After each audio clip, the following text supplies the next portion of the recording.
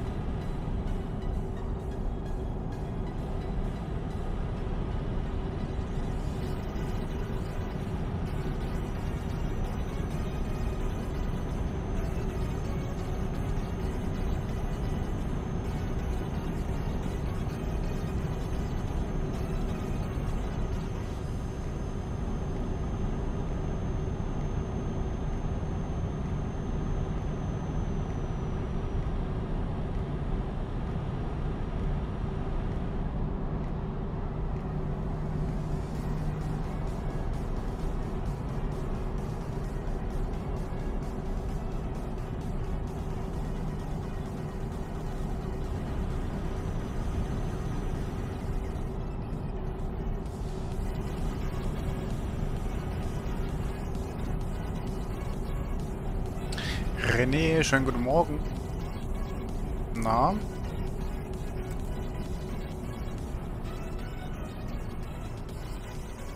Alles klar bei dir? Schön, dass du da bist.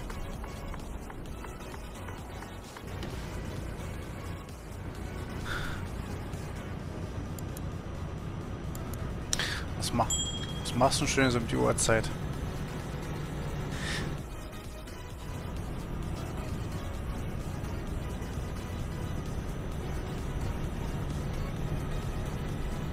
Das ist schön.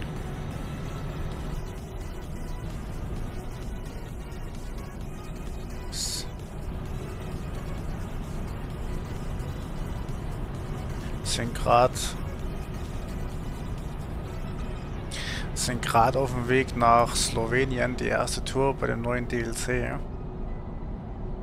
Und sind von Sevilla, na, doch fast in der Nähe ausgestartet. Oje.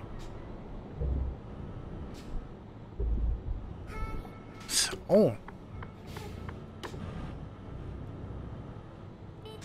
Das ist doch schön.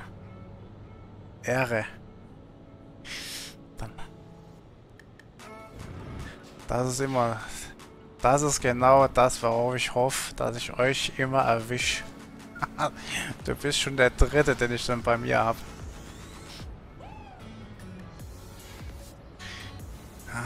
Wo, geht's denn hin?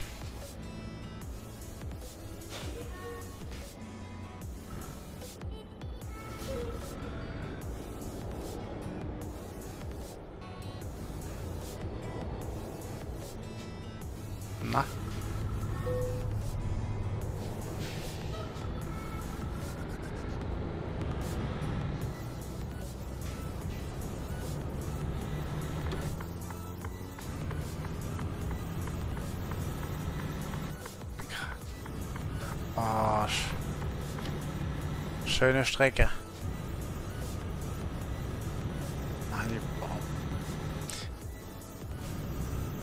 Das ist eine schöne Strecke. Ja, ich, ich ähm...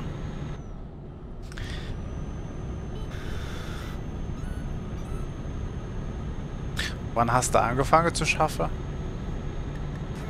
Okay. Mann, Moment. Lass mich, lass mich raten. Wenn ihr jetzt eine Pause machst. 22 Uhr. Ja, ja da habe ich auch angefangen zu streamen. Bei mir ist nämlich jetzt die ganze Woche ETS 2 Woche. Und ähm, das heißt, ich fahre oder ich versuche ähm,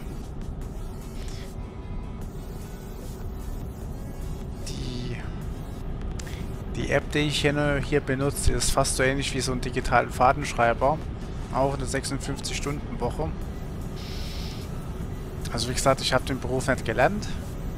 Habe aber für euch einen heiden Respekt, was ihr da, was ihr da leisten müsst. Ich komme aus dem Metallbetrieb, jetzt seit, ja, ich will, Mimimi, ich will kein Mimimi machen, aber ähm, äh, gesundheitlich bin ich halt jetzt ein bisschen aufgeschlagen. Mache halt deswegen nur noch am Wochenende Zeitung austragen. Und den Rest mache ich ja einfach nur Stream. Hat sich jetzt alles so entwickelt, aber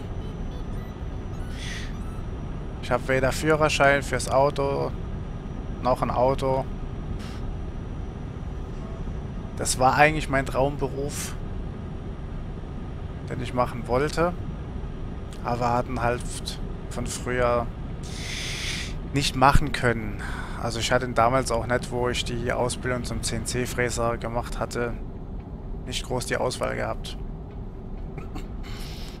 Hätte ich Maler und Lackierer gehabt äh, die Ausbildung gemacht, hätte ich vielleicht noch ein noch ein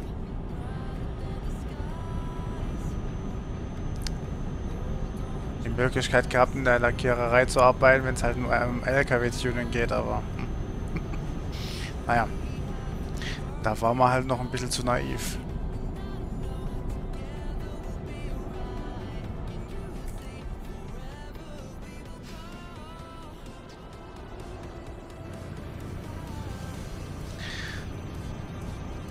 Und deswegen habe ich mal einen kleinen Simulator ein bisschen gebastelt.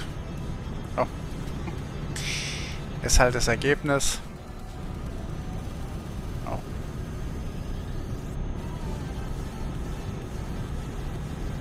kurz gesagt. Warum haben wir es denn?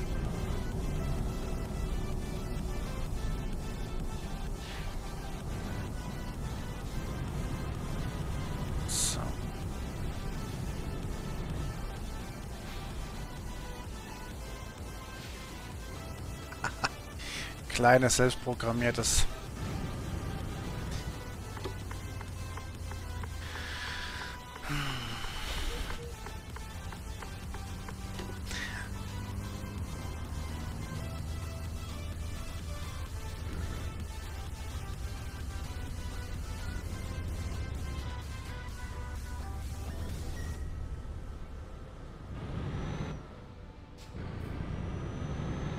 Dann nehmen wir halt die zweite aus. Der zweiten Bautstation. Ach, ich liebe die KI, ey.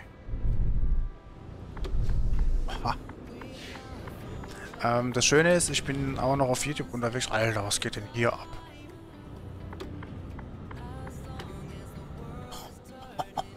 Darauf war ich jetzt gefasst, ey.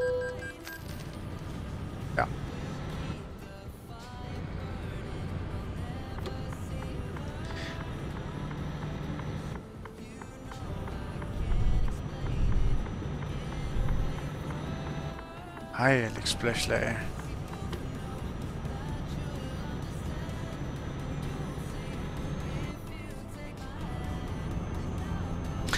Äh, heißt es jetzt, du fährst äh, jede Nacht, René, oder ist es nur... Je nachdem.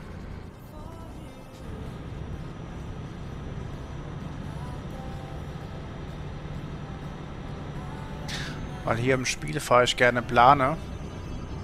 Aber auch auf dem YouTube-Kanal bei mir habe ich öfters mal so schöne Fahrten wie ADR-Fahrten von München.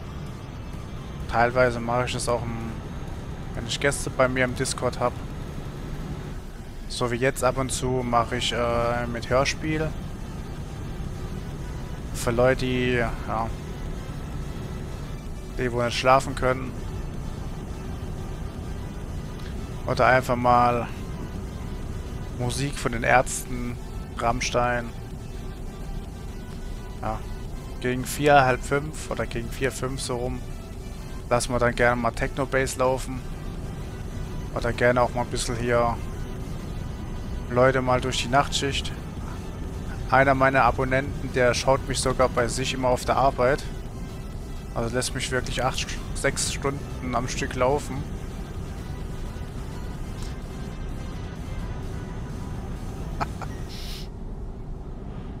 Finde ich auch sehr bemerkenswert. Oh.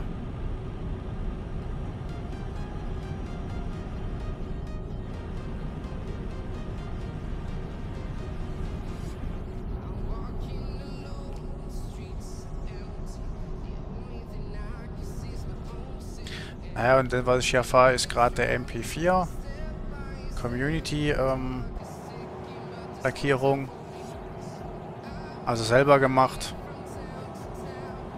Aber wie man undeutlich sehen kann, naja. Geht halt von mir ein paar grafiklich ein bisschen was schief. So.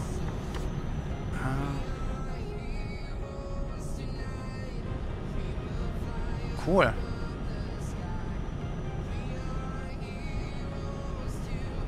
Nach Hamburg? Oh. Oh, was hat's denn hier geknallt? Oh, ich liebe die KI. Ah, da hast du aber eine ganz schöne Strecke noch vor dir.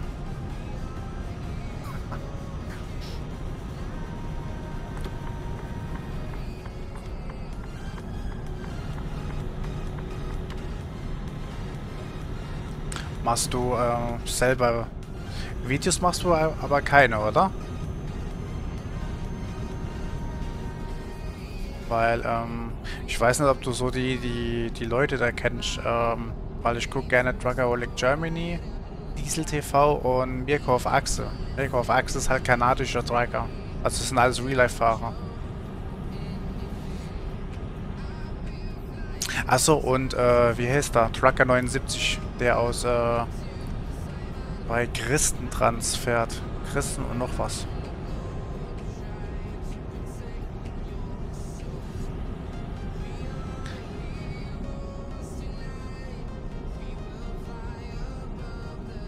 Cool.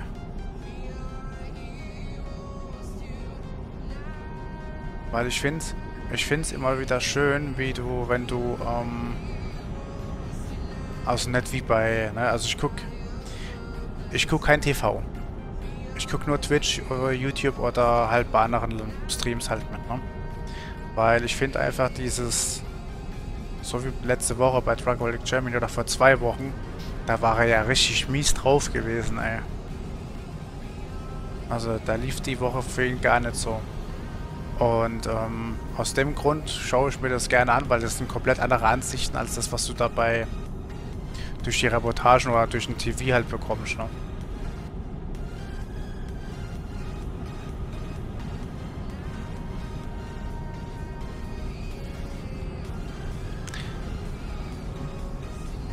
Also den, den anderen Trucker, den ich hier im, im als VIP-Status habe, das ist der liebe Ghosty. Der hat 14 Jahre lang auch LKW gefahren.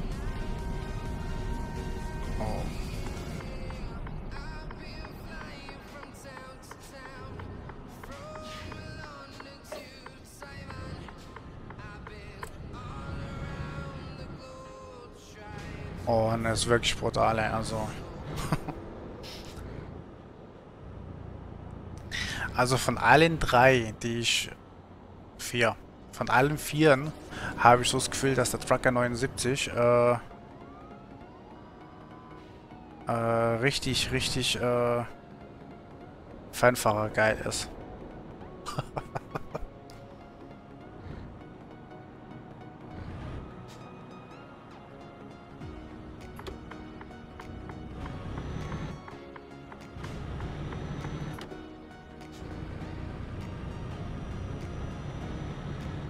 Also ich weiß nicht, bist du, bist du mehr in, in, zwischen Österreich und ich glaube Malibu ist doch noch Italien, ne?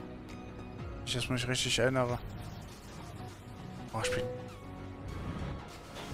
was Erdkunde betrifft, betrifft, bin ich so eine richtige Niete, ey. Nach Menschen muss ich auch... Oh, okay, wow.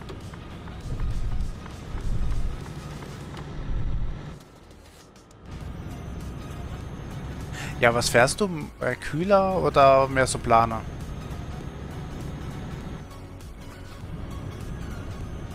Also Fall... Fall äh,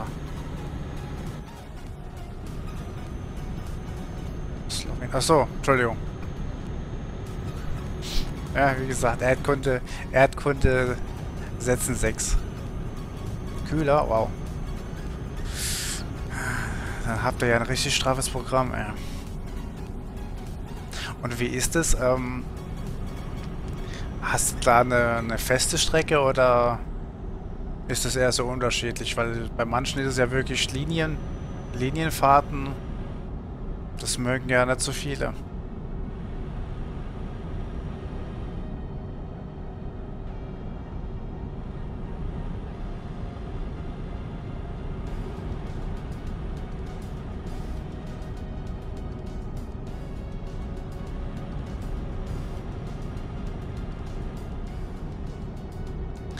Weil es wäre auf jeden Fall, also für mich wäre es auf jeden Fall bei Ihnen so interessant. Ähm, aber ich, ich weiß halt nicht, wo das halt... Äh, bei mir ist das... Sch Schweden und Nor Norwegen. Oh, geil. Ach, das sind alles Gegenden da... Also ich war nur mal... Ich war urlaubmäßig nur mal in Dänemark, aber Schweden, Norwegen dahin. Es muss ja richtig schön da sein, ey.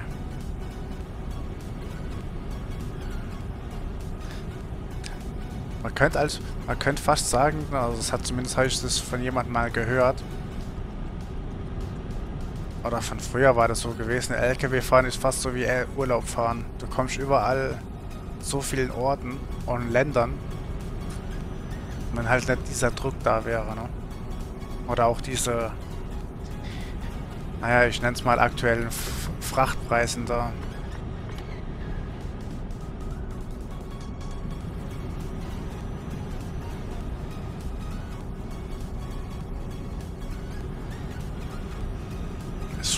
Also ich krieg dafür, dass ich nicht so der sagen wir so, ähm, ja, wie nennt man das? Äh, ich krieg viel mit aus der aus der Szene, sage ich mal so, ne? Auch wenn ich das nicht so viel auf meinem Kanal red oder stream, weil ich da immer noch so einen heiden Respekt einfach davor habe.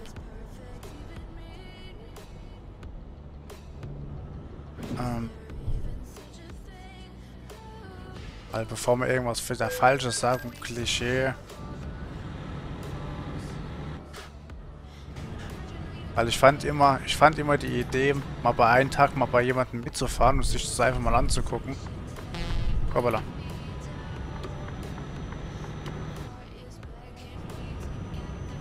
Das wäre halt so ein absolutes Highlight. Mal einen Tag bei jemandem mal mitzufahren und sich das einfach mal anzugucken. Und selbst wenn ich mal helfen müsste.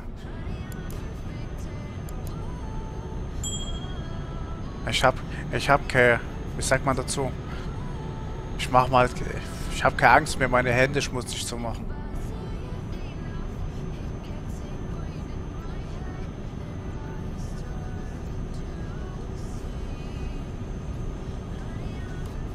Aber das ist nicht so einfach, ne?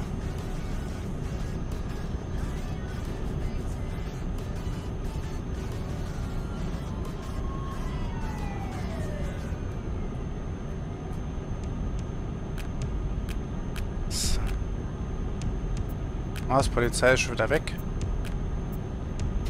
Wenn dir dieses Video gefallen hat, freue ich mich, wenn wir uns in der nächsten Folge wiedersehen. Bis dahin, habt noch einen schönen Tag. Bis zum nächsten Mal. Euer Bartalo. Ciao, ciao.